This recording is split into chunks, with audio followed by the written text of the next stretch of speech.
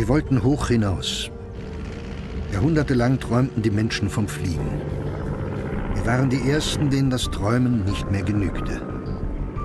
Mit dem Luftschiff schwangen wir uns in den Himmel hinauf, die Welt lag uns zu Füßen. Jeder Tag brachte eine neue Erfindung, die uns das Leben leichter machte. Elektrisches Licht vertrieb die Dunkelheit. Die Nacht war nicht mehr nur zum Schlafen da.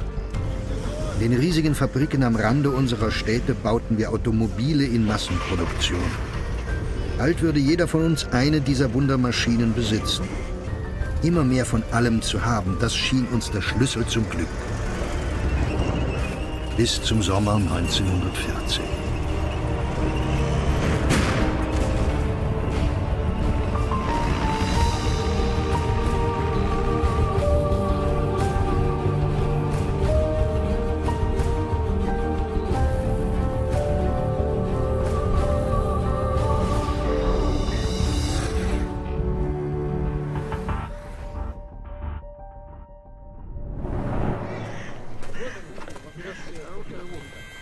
1914. Nach einem endlosen Winter sollte nun der große Angriff erfolgen. Wir lachten und sangen nicht mehr. Meine Kameraden waren öfter betrunken als sonst. Denn die Kommandeure teilten uns riesige Rationen an Wodka zu.